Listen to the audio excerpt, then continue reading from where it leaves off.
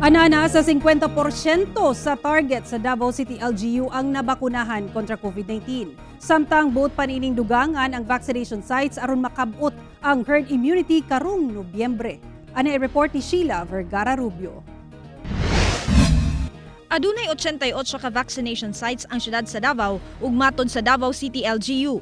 Madugangan pa kini sa mamusunod nga adlaw ilabi na nga adunay mga moabutay nga laing hugna sa supply sa mga bakuna. Possible pag madungagan, even as we speak, meron na tayong more sectors that are opening and also more vaccination sites by the City Health as well.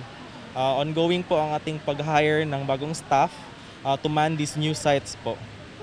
Anaa sa 1.2 milyon ka tawo sa Davao City ang gilaraw nga mabakunahan aron makabot ang herd immunity. Ug malaumon ang Davao City LGU nga mahitabo kini karong Nobyembre.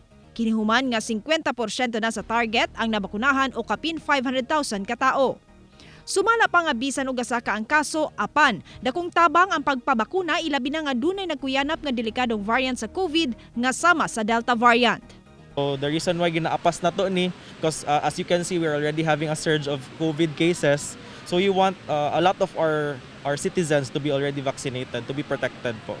Nagabakuna karon ang kagamahanan sa nagkarang lugar sa Davao bisan Sabado, Domingo o holiday. Niadtong Sabado, adunay mobile vaccination sa Turil nga gipanguluhan sa mga alumni sa St. Peter's College of Turil. Dili lamang mga alumni ang mga nakabenepisyo, kung dili midawat usab kini og walk-in.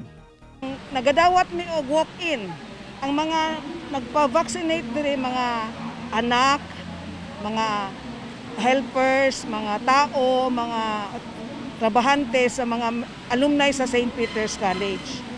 Kauban si Melcher Awing sa kamera. Ako si Sheila Vergara Rubio para sa One Mindanao.